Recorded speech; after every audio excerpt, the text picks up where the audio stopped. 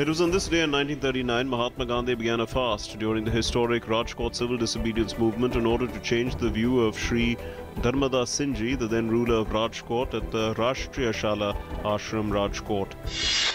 It was on this day in 1982 Raghupati Sahai, better known under the pen name of Firaq Gorakhpuri, a writer and one of the most noted contemporary Urdu poets from India, died in New Delhi. It was on this day in 1839 Jamshedji Tata was born at Navsari in Gujarat. He was an Indian philanthropist and entrepreneur who founded the Tata Group and is regarded as the father of Indian industry.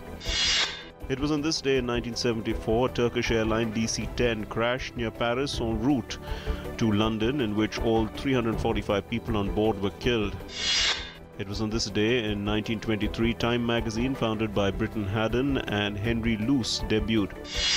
It was on this day in 2002 voters in Switzerland approved joining the United Nations, abandoning almost 200 years of formal neutrality.